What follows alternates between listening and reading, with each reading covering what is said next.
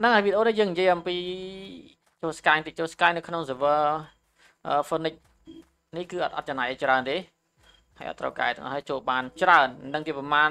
ដងដល់មួយថ្ងៃហើយពេលទៅចូលគឺយើងបាន experience បើយើងបានវាយអត់ដឹងបានប៉ុន្មានដែរអត់បានវាយ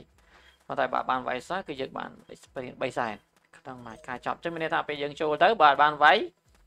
ដល់ម៉ោងចេញមកវិញគឺយើងបាន experience ហើយហើយយើងបានជាមួយនឹង butterfly នេះ butterfly គឺយើងបាន3សិត ហើយបានច្រើនទៀតនៅក្នុងនេះគឺយើងមាន stat វាជំនួយជំនួយមានច្រើនទៀតនេះជំនួយច្រើនហើយពេលដែលយើងបានយកមកគឺយើងពាក់ការនេះយកមកផ្គុំដើម្បីខ្លាយទៅជា butterfly ទៅជា magic butterfly នេះចានេះបំណែក butterfly បំណែកហ្នឹងយើងផ្គុំបានទៅជា butterfly ធំពេញលេញតែម្ដងហើយ stat ទៅជាមាន3 INT 8 all 5 HP 10តែហ្នឹងវាជំនួយមានច្រើនប្រភេទច្រើនប្រភេទ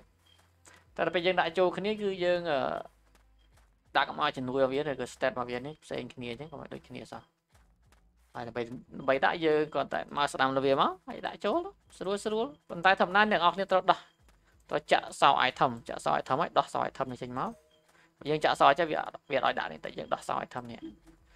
បើយើងអត់ចាក់ក៏វាអត់ឲ្យធ្វើដែរយើងទៅគេត្រូវចាក់សោ item ហ្មងមកអាចធ្វើនឹងបាននឹងមួយ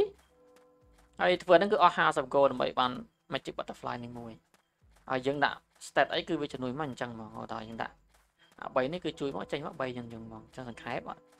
ហើយទៅចូល sky ស្រួលមានអីចូលទៅពេលដល់ម៉ោងទោះបីជាចេញអត់បានវាយក៏ដោយពេលចេញវិញក៏បាន experience ដែរស្រួលទេ sky នៅក្នុង server private ចឹងមានប៉ុណ្ណឹងតោះចូល